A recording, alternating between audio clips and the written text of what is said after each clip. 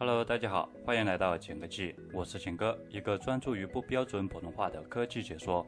近期，i s 微信发布了七点零点一五正式版，那么这次更新都有哪些变化呢？下面我们就来一起了解一下。首先，长按聊天信息有了新变化，之前我们长按是纯文字，而现在却变成了图文版。我们在两分钟之内长按信息，它这里显示的是撤回，但在两分钟后长按，它这里是删除的选项。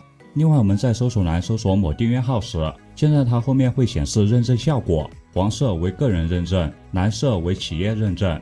视频号分享至朋友圈，之前它是图文形式，而现在是纯视频，而且下面还有详细的来源。微信的拍一拍也有了新的变化，现在我们拍好友或自己，它这里会出现提示。我们在小程序点击右上角的三个点，它这里多了一个成长守护功能，但之前悬浮窗的功能没有了。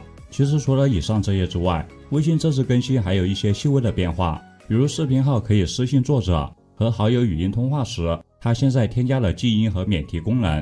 订阅号视频横屏观看时，我们可调整观看的速度等等。有兴趣的朋友也可以去试一下。好了，本期视频分享就到这里，我们下期再见。